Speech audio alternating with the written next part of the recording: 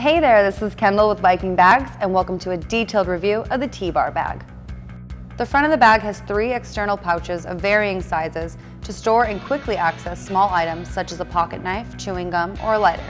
The front of the bag also has a transparent plastic pouch with enough space to easily tuck in even bigger phones, such as an iPhone 6 Plus or Note 4. The plastic film on the pocket is touch-friendly to enable cell phone use while the cell phone is secured in the pouch.